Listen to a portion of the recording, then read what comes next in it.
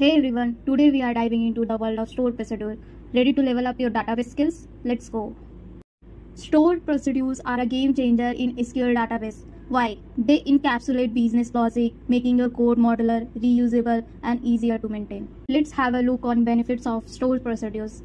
First of all, performance, pre-compiled and optimized by the database engine. Security, restrict direct access to data, control access via permission. Consistency, centralized logic means consistent behavior across applications.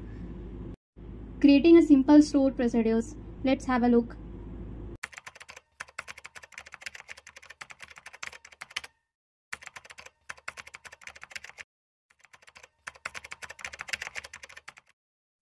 To execute this procedure, simply call it with the desired parameters.